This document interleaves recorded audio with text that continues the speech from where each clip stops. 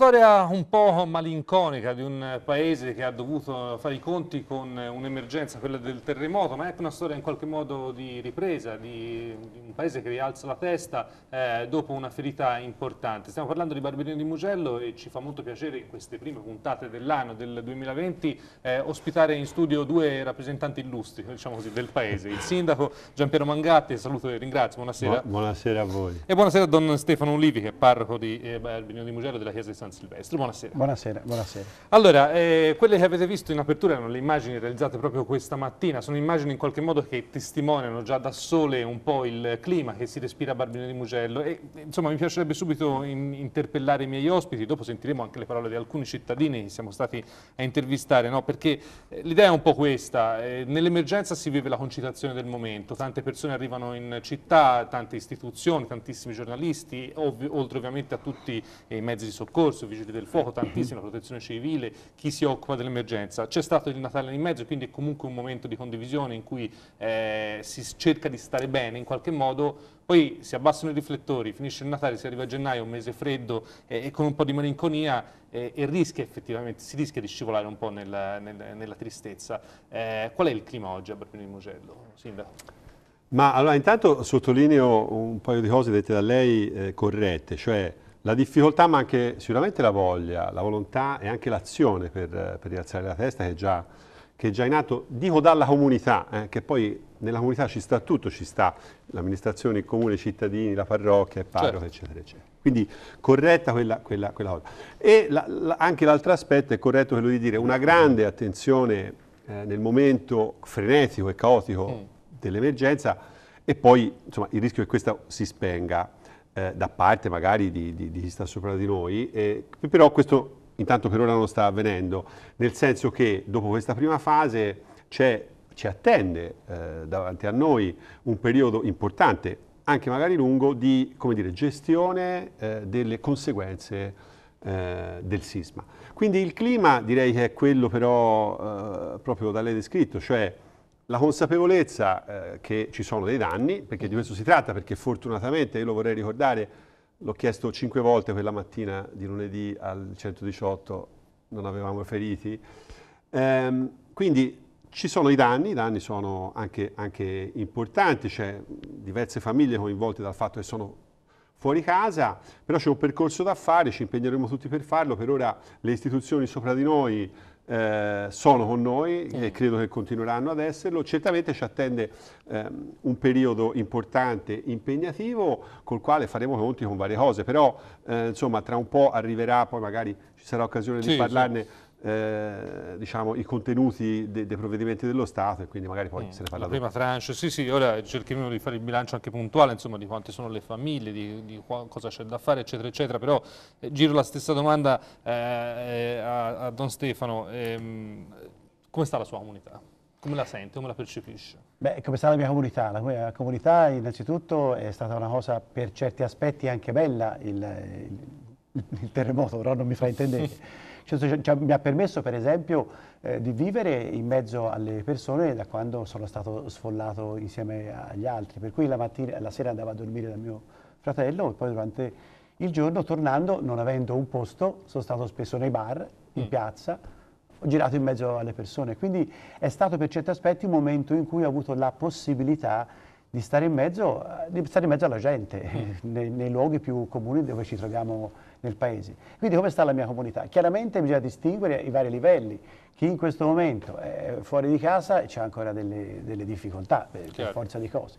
Chi è rientrato sta cominciando a fare la conta dei magari pochi danni che non mm. hanno reso inagibile l'abitazione e ci sono diverse, diverse sensazioni.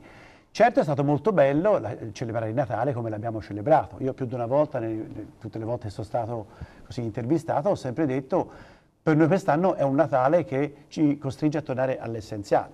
Mm. Se Natale è veramente la, la, speranza di ripartire con qualcosa di nuovo, come Dio tutti gli anni ci permette di fare, celebrando Gesù che si fa bambino, eh, abbiamo dovuto farci un po' tutti i bambini anche nella celebrazione della festa perché abbiamo dovuto accantonare tutta una serie di cose molto belle legate alla tradizione. Ho detto anche per esempio dal 9 dicembre in poi nessuno mi ha fatto gli auguri di buon Natale, se non dal giorno di Natale in poi. poi. Ce li siamo rifatti dal giorno di Natale perché non era il caso farci gli auguri di Natale due giorni prima, quando eravamo in mezzo a calcinacci o mm.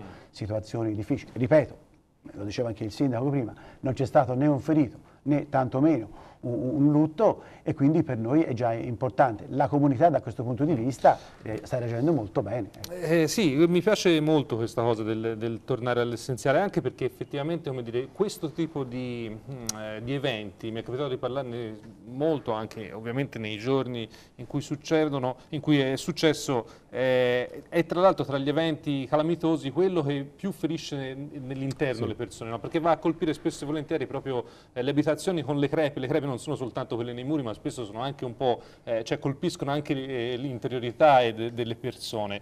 Eh, facciamo però, Sindaco, un po' il bilancio, la conta di qual è la situazione attuale, anche per dare una fotografia no, de, de, de, degli sfollati, degli aiuti però che eh, arriveranno anche da parte del governo. Sì, sì, ora eh, vi faccio la, la, situazione adesso, però vorrei sottolineare anch'io la risposta della comunità intesa nel suo insieme, cioè nella negatività del terremoto effettivamente eh, c'è stato un gioco di squadra importante, c'è stato un gioco di squadra a livello locale, fra le varie componenti locali, eh, dove, dove c'è il comune, ci sono l'associazionismo, c'è appunto la parrocchia, eccetera, e poi anche con gioco di squadra con le istituzioni. Quindi credo che, io, io l'ho detta questa cosa mh, più volte, la, la vorrei ripetere, se noi come comunità ci rendiamo conto quanto è importante comportarsi in questa maniera e se un decimo di questa forza, che chiaramente non può essere la, la tensione dell'emergenza, certo. no? però se un decimo di questa forza di volontà di essere positivi e propositivi ce la portiamo nella nostra quotidianità, io credo che davvero non solo mm. superiamo questa fase,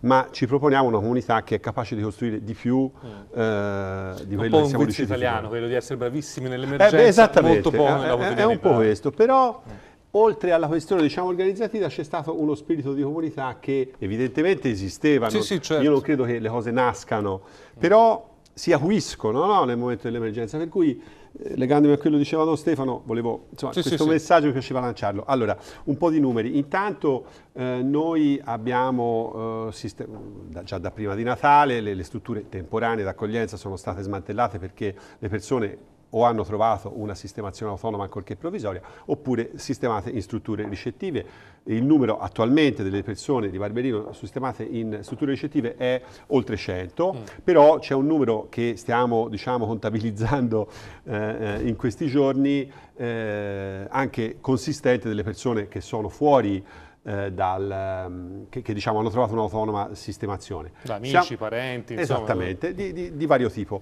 Quello che noi stiamo, è stato dichiarato, e questo è importantissimo, eh, lo stato di emergenza nazionale, siamo in attesa che, eh, ma, ma, ma, è questione di giorni, che il Dipartimento Nazionale di Protezione Civile emetta un'ordinanza nella quale ci sono le risorse stanziate rispetto alle richieste della Regione, ehm, e anche le linee di intervento che saranno sia su, di contributi per i danni al patrimonio in questa prima tranche di danni al patrimonio pubblico, danni al patrimonio privato, quindi contributi anche per i privati, i privati che sono stati colpiti da ordinanza eh, uh -huh. di eh, inagibilità o di evacuazione e ehm, contributi per l'autonoma sistemazione, cioè le persone che sono fuori casa e che lo rimarranno a, in conseguenza del, del tipo dei lavori che devono fare, del tempo dei lavori, un periodo lungo, avranno un contributo qui sempre eh, fa fede l'ordinanza per dire, potersi permettere in qualche maniera per esempio un affitto eh, per un periodo anche, anche eh, di diversi mesi, quantomeno eh, per diciamo, il tempo della durata dell'emergenza nazionale che di base è 12 mesi. Mm. Tra l'altro, eh, come dire, eh, oggi parliamo con due rappresentanti, come dire, delle istituzioni de, de, della, della, comunità ecclesiastica di Barbini Mugello, ma parliamo anche con due che, dire, persone che sono loro stesse in qualche modo sfollate, diciamo così, perché sia il sindaco, oggi il palazzo comunale lo vedevamo nell'immagine, è chiuso, avete trasferito la sede nella, nella biblioteca, in quella di Palazzo sì. Pretorio, giusto? E, e, così anche la chiesa di Barberino, come sta la chiesa dal punto di vista strutturale, eh, Don Stefano? Allora, faccio una piccola premessa, mi sembra importante. Il fatto che ci sono arrivate le, le festività natalizie, per certi aspetti, per, per, noi è stata una cosa che ha cambiato un po' la, la cronologia del problema. Mm. C'è l'emergenza e poi dopo tutto si, si appiana, si diciamo così. Sì, sì, sì, Invece calma. le feste natalizie hanno fatto eh, acuire un pochettino, per esempio sono spariti i vigili, giustamente perché non c'era un'emergenza immediata da dire certo. pericolo di vita. Adesso è successo che finite le feste natalizie è ripreso tutto, mm. per cui adesso in questo momento io ho là davanti alla chiesa, il sindaco Giampiero l'ha visto passando, è pieno di, di, di vigili, sì, scale mobili e, e, quant'altro, sì. eh, ponteggi e quant'altro. In, in questo momento eh, diciamo, sono arrivati, i vigili hanno messo la, il secondo tirante alla facciata sono stati messi due tiranti abbastanza alla svelta al porticato e hanno terminato i due tiranti in acciaio alla facciata. Mm. Proprio questione di, di, di, poche ore. Stanno continuando ovviamente a fare altri tipi di intervento e poi eh, stanno mettendo mano adesso a quello che è l'oratorio della misericordia, che è in gestione, diciamo, incomodato d'uso alla misericordia, ma rimane sempre mm. di proprietà eh, della parrocchia. Certo rimane che la chiesa è inagibile e noi stiamo eh, celebrando la, la, messa domenicale presso il garage della pubblica assistenza Buturlin, che sono stati di un'accoglienza direi mm. esagerata, tanto che domenica scorsa abbiamo fatto anche un battesimo per immersione e ci hanno fornito l'acqua calda, ci hanno, messo a hanno acceso il riscaldamento ancora più alto perché la bambina Esther, così si chiamava... Quando eh, glielo racconteranno a Esther, eh, sarà una cosa eccezionale, allora, spero di non violare la privacy, può essere un fatto pubblico se fatto davanti... Vabbè, è stato un momento molto molto bello. E adesso eh, stiamo aspettando, grazie alla, anche alla protezione civile e quindi anche al sindaco, che sia realizzata una tensostruttura che ci permetterà poi di trasferirci mm. per la celebrazione eucaristica domenicale e perché no, posso dire anche per purtroppo le esegue quando c'è bisogno e già una coppia mi ha detto che è disposta a sposarsi mm. nella tensostruttura. Eh, sarebbe, sarebbe, tra l'altro molto bello, perché come tempi di cosa si parla per poi la riapertura della chiesa? Ma eh, non c'è ancora una, una tempistica perché non è stato possibile ancora andare a vedere con un ponteggio da parte dei, dei miei tecnici sì, sì, sì. Il, il, tipo di intervento da fare, anche perché la chiesa era veramente inagibile. Mm. Ora con questi tiranti probabilmente potremo cominciare a rientrarci con calma. Però io dico sempre a battuta, ma lo dico da, da, da ignorante, da, metterei la firma Natale 2021, mm. andare a celebrare il Natale in chiesa, sarei contento di questo. Okay. Se poi si fa prima, tanto, tanto meglio, meglio. Tanto meglio. E per quanto riguarda il Comune, Sindaco? Sì, c'è questa curiosità che ci siamo sempre detto con Don Stefano, colpita la chiesa e il comune, certo. quindi Peppone e Don Camillo sistemati par condition, in, in maniera di par condition. Esatto. Eh, sì, eh, no, tra l'altro eh, il comune appunto ehm, dovrà essere, i tempi ecco, del comune anche lì eh, un paio d'anni ci vorranno. Ora in questo momento è difficile anche quantificare, ma eh, certamente siamo in una situazione di difficoltà ora per due motivi. Uno, non abbiamo la sede, siamo tutti stretti lì nella, nella, biblioteca che sta funzionando in maniera provvisoria, quindi stiamo cercando una soluzione alternativa, abbiamo un po' di ventagli, stiamo cercando di fare il più veloce possibile per due motivi, permettere alle persone di lavorare bene e soprattutto ci attende un periodo in cui dovremo fare come ente sia l'ordinario che lo straordinario, mm. quindi siamo anche in difficoltà di personale da questo punto di vista. Quindi eh, sì, io penso che almeno un paio d'anni prima di tornare nel, nel, nel comune risistemato ci vorranno. Va bene, allora ci fermiamo per qualche istante, torneremo tra pochissimo, sentiremo anche le parole di alcuni barberinesi, insomma siamo andati a intervistare questa mattina, parleremo ancora di questo e anche però, come dire, di, di, di quello in qualche modo che a livello anche passatemi il termine, di, di, di, scarto culturale si può fare insomma, per cercare di dare una mano in qualche modo a Barbini di Mugello. Parleremo, vedremo l'intervista ad alcuni commercianti, insomma in realtà è una città che poi ha bisogno in qualche modo di essere eh, frequentata, di, essere, di, sentire la vicinanza anche no, dei tanti magari possono venire lì, si può fare qualcosa concretamente, vi daremo tutte le disposizioni per farlo, giusto qualche istante di pubblicità poi torneremo in studio, restate con noi.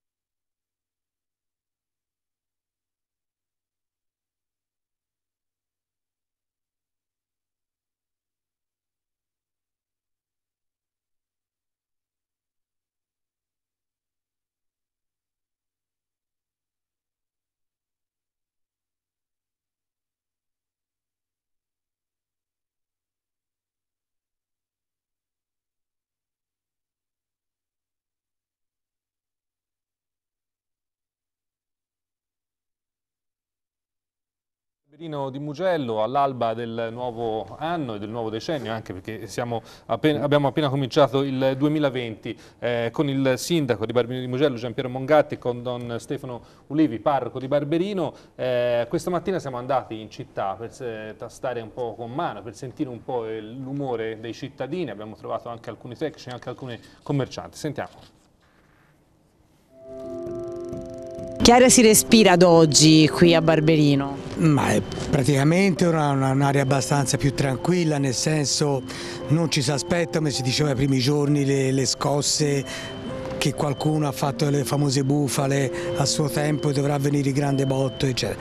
La gente ormai si è tranquillizzata, abbiamo fatto più di 700 sopralluoghi, i fabbricati sono già belli parecchi in ristrutturazione, hanno già belle cominciato ad agire, i vigili del fuoco sistemano la chiesa, diciamo si sta tornando alla normalità.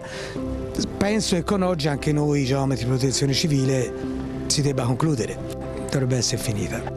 Un clima un po' in quella maniera perché sta parecchio grosso. Io mi sono spaventata da morire. Voi avete subito dei danni alla vostra casa? Sì, sì, è tutto da ritirare, da buttare giù l'intonaco e ritirarlo su. Adesso viviamo dalla mia figliola su a Montecarelli. Sì, e i lavori devono iniziare lunedì, speriamo. L'area è un po' pessimista perché le cose ancora non si sono rimesse a posto, vedo tante case che hanno bisogno della ristrutturazione, persone che non hanno soldi per fare la ristrutturazione e vorrebbero che le cose si sistemassero alla svelta. È un po' più di fiducia perché se Dio vuole si sente tremare anche meno perché fino all'altro giorno ancora è trema e poi piano piano si riprenderà il via come tutto, si comincia a passare la paura più che altro. Si riparte, bisogna ripartire per forza, se no che si fa? Mica mettersi a piangere addosso, bisogna ripartire e via. Questo terremoto ha dato un colpo ulteriore alle attività che ci sono eh, a Barberino e in particolare qui nel corso. Io penso che per quanto mi riguarda dovrà passare molto tempo per poter dire normalità. Lei prima delle festività natalizie ha voluto lasciare appeso proprio al suo laboratorio un messaggio, un augurio diciamo per tutti i barberinesi. Mi sono chiesta cosa mi sarebbe rimasto eh, e questa credo che sia una risposta che ognuno si dà per conto proprio, cioè se l'attaccamento è solo al bene materiale rischi di perdere tutto se invece costruisci anche qualche altro valore, beh, forse quello non lo perdi e ti dà la forza per continuare, cioè per ricostruire.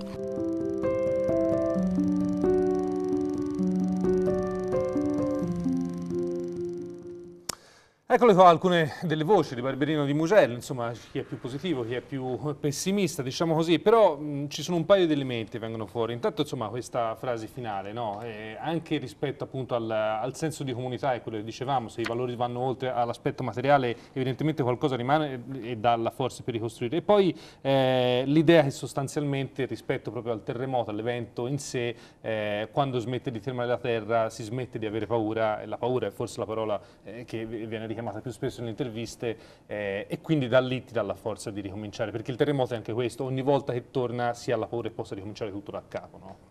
Sì, esattamente così, anzi guarda, proprio la questione della paura e della gestione della paura è stato fondamentale in, que in quei giorni, mm. quelli più critici, in, que in quelle settimane più critiche, era una delle nostre maggiori preoccupazioni, perché la paura di per sé, io dicevo questo e lo penso ancora, è un sentimento che nella giusta misura è positivo, perché mi fa essere sì, attento. attento.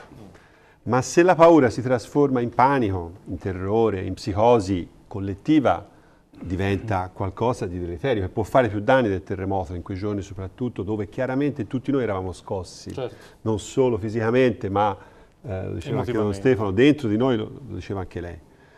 E quindi ecco, la, la richiamata diciamo, uh, vicenda delle fake news o de, dei mm. messaggi, eccetera, eccetera, è stata stoppata e devo dire grazie a, a un intervento di tutti, ma il sindaco di Borgo ha fatto una battaglia sì. su questo, è finito anche sulle reti nazionali, credo che, abbia, che, sia servita, perché dopo i primi giorni mi sembra che questa cosa sia eh, terminata, era importante. E in generale la tenuta della comunità è passata attraverso un contenimento eh, della paura nei giusti termini e farla diventare che cosa? Per esempio attenzione alle disposizioni che noi davamo Mm. che c'è stata in maniera, in, la risposta dei cittadini sulle disposizioni che noi davamo, di, i consigli che noi davamo per gestire le varie situazioni, dal rientro a scuola, il traffico, ma anche altri tipi di comportamenti sono stati ehm, come dire, eseguiti in maniera esemplare proprio perché eh, la consapevolezza della situazione in cui eravamo, soprattutto in quel momento lì, eh, ha trasformato la paura in azione eh, diciamo, corretta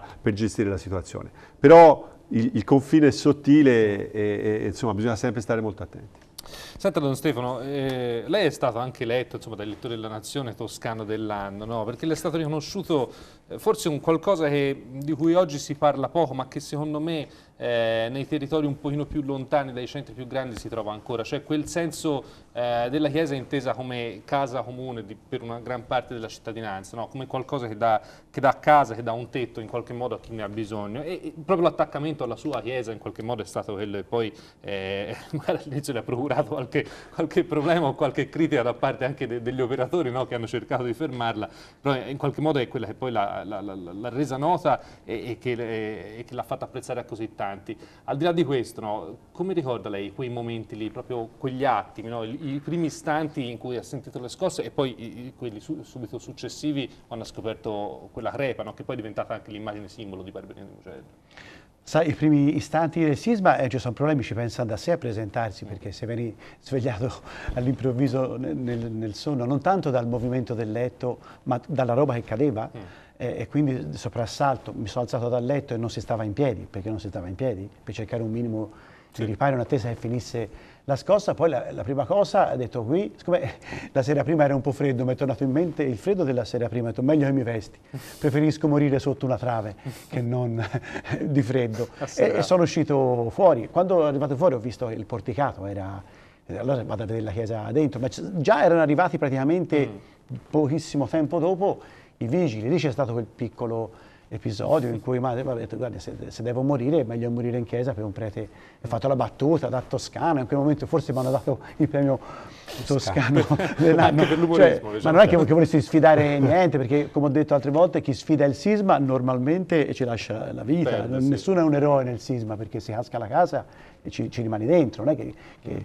però ecco in quel momento direi non ho pensato particolarmente a niente, ho pensato a andare a vedere cosa era successo in chiesa e effettivamente poi in chiesa ho visto che la situazione era, era peggiore di quello che poteva essere il, il porticato eh, squarciato, perché c'era il distaccamento della parete de, de, della chiesa che era pericolosa perché si, stavano, si stava allontanando, si era allontanata la parete da, dalle travi portanti, che grazie a Dio sono rimaste poi ad un esame più attento anche da sotto, perché, ma non ho pensato sinceramente a un discorso di pericolo, ma ho pensato subito vado a vedere la mia chiesa, ma forse mi, tutti avrebbero fatto se avessero avuto eh, una chi casa. Lo sa, secondo lei so. sindaco l'avrebbero fatto tutti, no, sa perché, ora senza fare troppa retorica, però insomma ogni tanto come dire, vale la pena spendere una parola in più, è anche un po' un primato della provincia rispetto alla città, dove le logiche sono un pochino più eh, generali e quindi anche un pochino più distaccate, se mi consentite. Invece nella provincia tante volte, nei luoghi un pochino più lontani, si trova invece quella rete, quell'attenzione alle cose eh, che magari in città a volte la si perde. Ecco. Ma sì, sì, credo di sì, eh, credo di sì e credo che mh, appunto questo sta nel ragionamento che facevamo un po' tutti prima della, della risposta della comunità che può essere eh, stata appunto diligente in alcuni casi, in alcuni casi eh, istintiva perché dentro, io ho parlato prima appunto della correttezza e della diligenza, però c'è anche tanta, tanto cuore, tanta passione in tutto questo eh, anche nelle manifestazioni di solidarietà, nelle manifestazioni di aiuto, nei, nei, nei gesti, nelle parole e anche nella spontaneità di alcune, eh, di alcune azioni. Per cui sì, eh, direi che mh, mm, eh, come dire, la provincia ha i suoi limiti, ma da questo punto di vista la vicinanza la si sente. Sì, si sente noi lo abbiamo percepito anche proprio come dire, professionalmente dal nostro punto di vista, anche in quelle notti no, in cui come dire, quelle, quei letti, que, quelle, quelle certo. situazioni eh, create, sono, che sono state allestite all'autodromo, in altri luoghi, nella palestra. Eh, insomma, anche tra le persone all'interno si cercava in qualche modo di, di, di, darsi una mano a vicenda, ecco, e questo secondo me era abbastanza emblematico. Succede spesso, perché come lo dicevamo noi in Italia siamo molto bravi nel gestire le emergenze e anche nel, nel, nel, fare mutualità quando c'è bisogno, eh, però vale la pena forse sottolinearlo ecco, quando succede. No? Sì, sì, io due parole sulla palestra mm. secondo me vanno spese perché è vero che c'era un'atmosfera particolare, ci passavo praticamente tutti i giorni, l'atmosfera sia fra le persone che fra, fra i volontari, tanti volontari eh, che erano lì e c'era un'atmosfera particolare poi tutti quelli che volontariamente andavano, le maestre sono andate a fare un po' di eh, qualcosa con i bambini, sì. altri, intrattenimento bambini più volte è stato fatto in maniera volontaria da varie persone e eh, appunto da una parte c'era anche i volti eh, delle persone senza casa che, che, mi sono rimasti dentro, mi sono proprio rimasti dentro perché ci ho parlato e vedi nei, nei, loro volti insomma, la, un po' anche la sofferenza eh, che ti colpisce e dall'altra però la, anche la carica da parte dei volontari, la, la, la, voglia di essere lì, il piacere di essere lì e, e come dire, il, eh, sì, proprio la, voglia di esserci e di dare una mano. Mm. Sì, non è affatto scontato. Ehm, voglio chiedervi, siccome non manca troppo tempo, anche poi, insomma, voglio dire come in qualche modo si può fare anche per dare una mano. Allora, su questo parto eh, da Stefano Livi perché è stato attivato, me lo mandate anche in grafica dalla regia, un IBAN eh, dove la causale, chi, per chi vuole fare una donazione a ricostruzione post-sisma, eh, eccolo qua, qui ci sono tutti gli estremi, lasciatelo pure in onda per un pochino in modo che chi vuole se lo può segnare da casa perché, eh, come dire Don Stefano, ogni, dire, ogni, offerta, ogni aiuto in questo caso è, è ben voluto, no? può aiutare, diciamo così.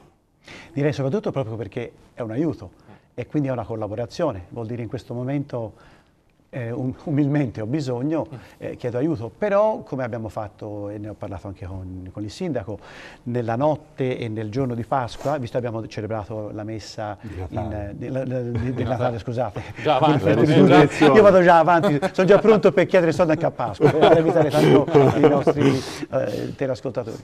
E quindi ehm, quella nel giorno di Natale grazie anche alla presenza del Cardinale Arcivescovo, è fatto abbastanza sì. importante ed eccezionale, sì, è venuto a celebrare la notte di Natale lì con noi, ho deciso tutta la raccolta di destinarla agli sfollati, mm. perché mi sembrava importante come eh, comunità cristiana, prima pensiamo a loro, poi ho detto penseremo anche alla Chiesa. Prima alle persone, poi alle cose, diciamo. Però c'è da pensare anche alle, certo. alle, cose, per cui se qualcuno adesso non gli tornasse, sto pensando anche alla Chiesa, beh io insomma devo anche pur ricostruirla, salvo che qualcuno qualcuno si può sposare nel tendone, va bene, per, per no. i prossimi anni, per tutta la vita, beh, mi può andare anche bene al limite a me, però dice, direi no, i nostri che hanno fatto questa chiesa, cerchiamo di salvaguardarla e di riportarla a posto. Mm.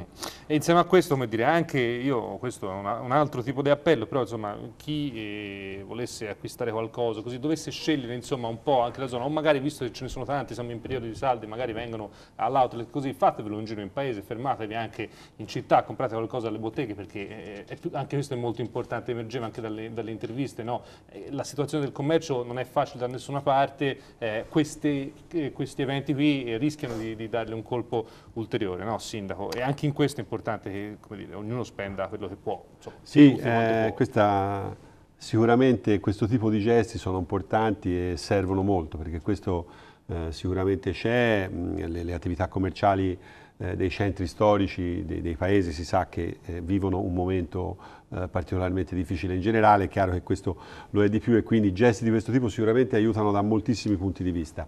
Su, sì, sì. Su, sulle donazioni no, noi abbiamo attivato come comune, anzi tramite la Proloco, eh, un, un, un, IBAN anche noi da subito e sottolineo che attraverso quelle, quelle che la parrocchia ci ha versato 5.000 euro ecco, sì, in due tranche, in due tranche attraverso, attraverso quelle, quella raccolta eh, diciamo mh, anche il nostro conto sì, che, è, che, è, tuttora attivo e che, e che, viene utilizzato da varie iniziative che, che, si sono susseguite e si susseguono di cene eccetera eh, su cui versano però devo dire che la parrocchia ci ha versato mm. in due tranche 5.000 euro. Eh, faremo in modo di dare anche questo estremo anche insomma, nelle, nelle, puntate successive. Siamo in chiusura Sindaco le chiedo solo un'ultima cosa. Eh, velocemente, perché noi spesso ci siamo ritrovati come dire, a parlare anche con lei insomma, e con tanti altri sindaci eh, del cosiddetto sistema Mugello, no? qualcosa che bisogna fare, mettere a sistema un territorio, cercare una collaborazione che abbia a che fare anche poi con i profili economici, con eh, le certo. possibilità eh, di vario tipo. Eh, in questo caso però viene da dire forse il sistema Mugello c'è, esiste, ha funzionato, diciamo almeno laddove, lo abbiamo già detto, però mi piacerebbe spendere una parola anche sugli altri sindaci, perché io mi è capitato di chiederlo a, a tanti sindaci che sono venuti qui in questo lasso di tempo e tutti mi hanno, hanno, fatto i complimenti a lei, hanno voluto in qualche modo renderle omaggio per l'impegno che ci ha messo e vale la, la, pena di dire che visto di politica se ne parla spesso in termini anche negativi, i sindaci tante volte sono quelli che stanno più vicini ai bisogni dei cittadini che poi sono quelli che giorno e notte stanno dietro, soprattutto quando ci sono eventi di questo tipo. No, io la ringrazio intanto per dire questo, ma devo davvero ringraziare tutti no, i miei colleghi. Non è piaggeria, lo dico perché per no, no, ma... intellettuale. Perché, insomma... No, no, ringrazio e ringrazio soprattutto i miei colleghi che io ho ricevuto messaggi di solidarietà, ma non solo, insomma, eh, di qualunque cosa io abbia, abbia avuto bisogno nei limiti delle, delle, delle situazioni sì, in cui siamo ciascuno di noi, tutti sono disponibili, sono stati e sono disponibili a darmi una mano e anche la questione del personale di cui si diceva, mm. eh, appunto ho chiesto e sto chiedendo ai colleghi sindaci, quindi sì, assolutamente il sistema Mugello c'è, il rapporto fra noi sindaci, c'è un rapporto istituzionale forte fra noi sindaci che in questi momenti viene veramente fuori e devo dire che anche le parole di vicinanza ma anche i complimenti che, che le persone, mi fa piacere mm. che i miei colleghi l'abbiano fatto pubblicamente sì. ma l'hanno fatto dopo avermelo fatto personalmente non ho, ho, la presunzione di aver letto in loro la sincerità, mm. sia de, de, de, di queste parole, di questi gesti, per cui quando le cose si fanno difficili soprattutto, ma non solo in quel caso, esiste un rapporto fra istituzioni e fra sindaci che è importante. Va bene, noi abbiamo esaurito il nostro tempo. Naturalmente per quanto riguarda Barbino di Mugello, come dire, c'è ancora tanto da fare, noi ne parliamo oggi, torneremo a parlarne anche in futuro, però insomma, come dire, anche come abbiamo già detto, chi vuole dare una mano, eh, ci sono dei canali eh, dire, che si possono utilizzare per farlo, sia quello per quanto riguarda la Chiesa, che quello per quanto riguarda insomma, eh, il Comune, l'istituzione, chi ha bisogno. Grazie mille al Sindaco Giampiero Mungatti e a Don Stefano Dinivi per essere grazie stati con noi. Grazie. Grazie, grazie a tutti per averci seguito da casa. Telegram termina qui, noi ci vediamo domani. Buona serata a tutti.